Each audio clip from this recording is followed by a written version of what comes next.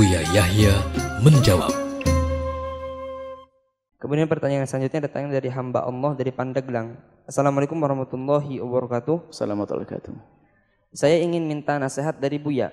Mana yang harus saya dahulukan antara pergi haji atau merawat orang tua yang sakit?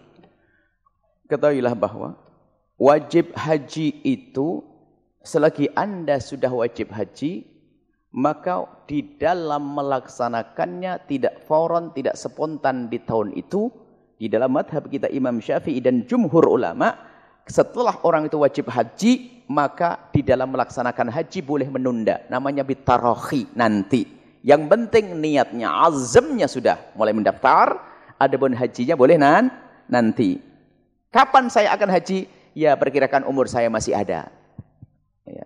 Ya, kalau saya akan haji tahun ya kalau umur 120 tahun, ini nunggu mati itu nggak ada.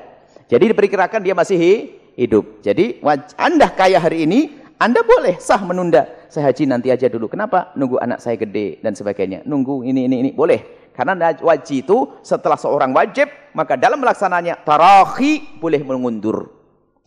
Tapi kalau ibu sakit, nggak mundur. Ya kan? Kalau sakit hari ini, nggak usah. Ibu sakitnya nanti saya mau haji dulu. nggak ada.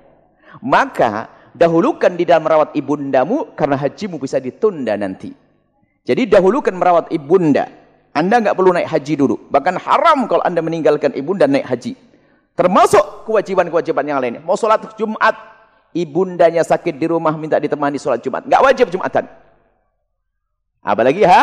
Haji. Maka ibunda dahulukan, rawat ibundamu yang lagi sakit. Kecuali sudah ada yang merawat, dan dalam keadaan tenang, Anda bisa melakukan. Dan mungkin Anda meninggalkan rizki untuk merawat, lalu minta izin sama ibunya, saya mau pergi ibu.